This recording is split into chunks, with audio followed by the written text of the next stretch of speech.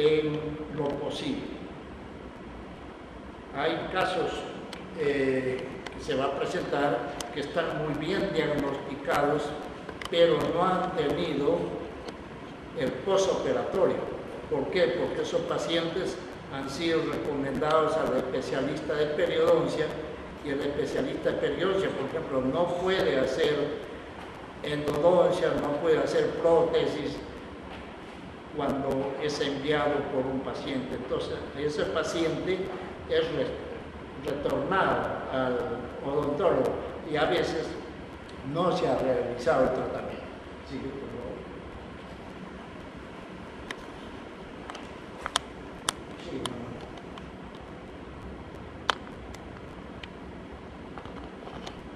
El trabajo completo eh, está referido a unos 100 casos estudiados, catalogados según especialidades.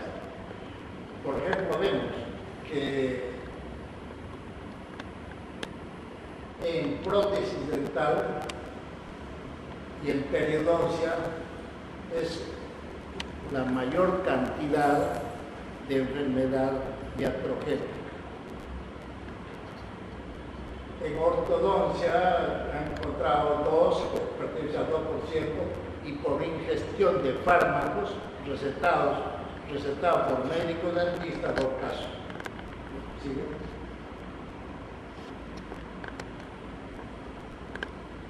Entre los pacientes de 50 más años ha habido la mayor cantidad de iatrogenias. No así entre los de 12 a 20 años que tienen la menor cantidad de iatrogenias.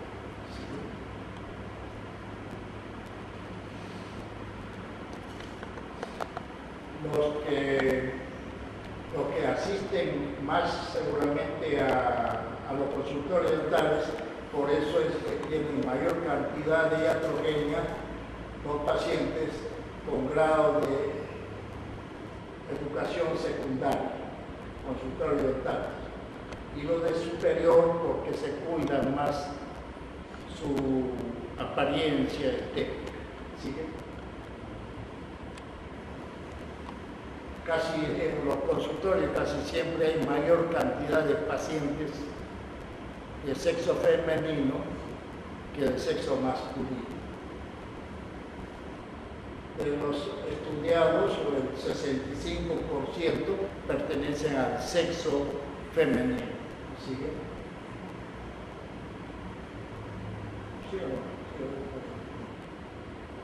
Bueno, aquí tenemos un caso, primeramente, caso importante. Este caso es un una hiperplasia, puedes apagar mal la luz que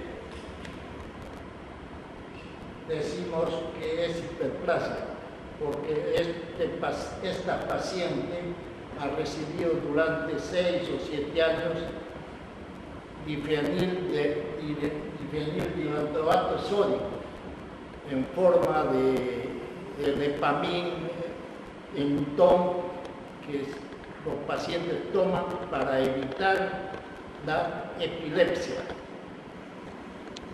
Entonces, uno de los, uno de los efectos colaterales es el crecimiento hiperplásico, que es fibroso y duro no, no presenta inflamación. En el inferior hay crecimiento hiperplásico, pero en las papilas, combinado con la inflamación. ¿Por qué? Porque aquí hay sal. ¿Cuál es la iatrogenia en este caso? El odontólogo quiso hacer un curetaje, un curetaje cerrado en toda esta zona produjo, produjo una ligera inflamación y sangrado y no mejoró nada la hiperplasia. Entonces, ¿cuál fue el tratamiento? este caso se le hizo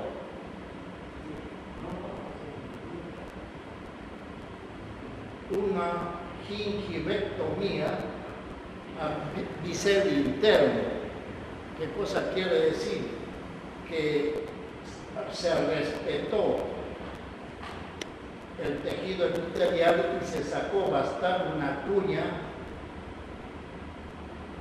una cuña de tejido conectivo y después se suturó y se puso cemento. En el inferior se hizo algo más sencillo, se hizo un tratamiento de una papilotomía, un buen de tartraje, enseñanza de cepillado. Este es el caso tratado. El inferior tiene 15 días y este tiene 8 días de extraído. Entonces ya se ha mejorado bastante el aspecto estético. pero ¿cuál es el, pelo ahí? Que a los pacientes que decide que a los seis meses vuelve a recibir el. El tratamiento sería cambiar la dosis, cambiar el, el fármaco o cambiar el método de cepillado. Pero siempre, mientras el paciente tome dilantina sódica, siempre va a haber ese problema. O sea que la iatrogenia fue querer tratar con un curetaje una hiperplasia. Siga.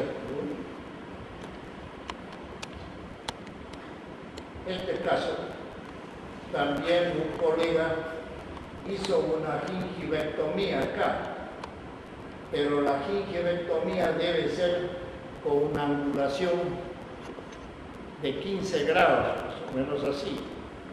Pero este el corte lo hizo horizontal, horizontal, y cuando se sacó el cemento, cuando se sacó el cemento quirúrgico, esto quedó como una repisa y tenía dolor a la masticación, sangrado a la masticación, que antiguamente el paciente no tenía eso tenía solamente una inflamación, como en este caso. En este caso se hizo una gingivoplastía, una gingivoplastía y cemento sin eugenol y buena técnica de cepillado y nada más.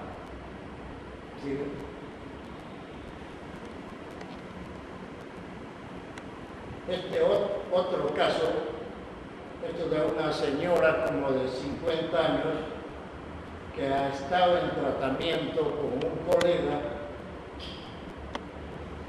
que le daba antárticos para antárticos para una reacción